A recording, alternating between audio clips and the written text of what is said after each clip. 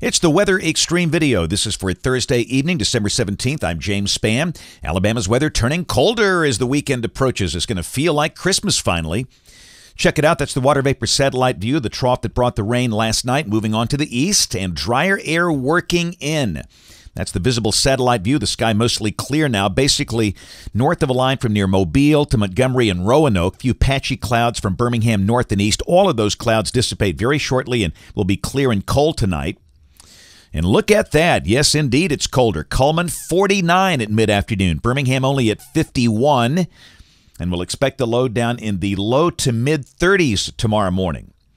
Around the nation, very cold air for parts of the western and northern states. And again, we'll be in that chilly air tomorrow, Saturday, and Sunday with uh, temperatures at or below freezing each morning. On the watch warning map, pretty quiet for much of the country. The big issues back in the far northwest winter storm warnings for parts of Oregon, Washington, and Idaho. Here's the rain for the next five days, valid through Tuesday evening of next week. Rain amounts here uh, between one and two inches. And again, the weather right before Christmas looking rather unsettled. So let's take a look at modeling. This is the GFS, the 12Z run, valid tomorrow at noon.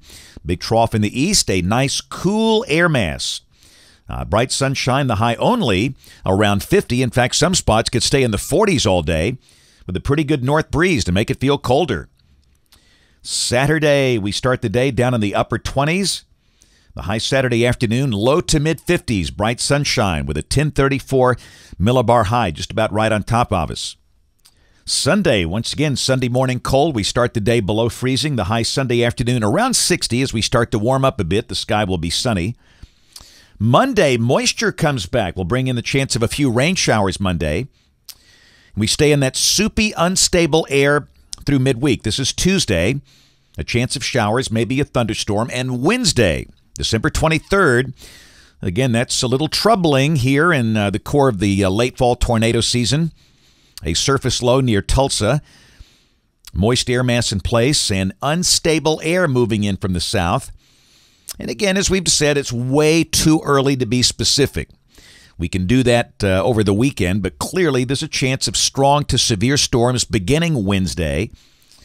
This is Thursday, Christmas Eve, troughing negative tilt to the west, and the storms begin to push out. And, you know, the timing could radically change. We might see a chance of storms well into the day Thursday.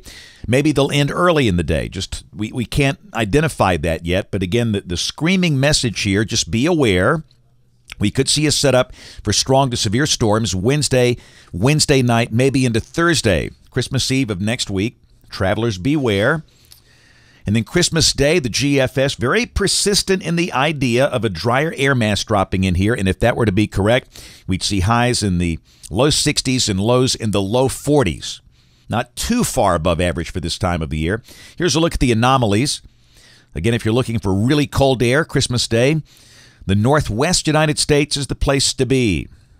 Temperatures way above average for the Northeast, and this is the projected snow cover Christmas morning off this run of the GFS.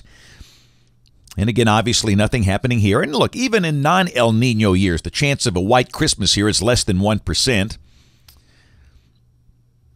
This is the end of the forecast period, December 27th, the Sunday after Christmas. And again, we're back in that moist air and that would suggest a chance of showers and storms. El Nino winters, as we have talked about since August, they tend to be relatively mild, relatively wet, and of course, we'll have occasional cold shots, and the cold air tends to be shallow when it gets down in here.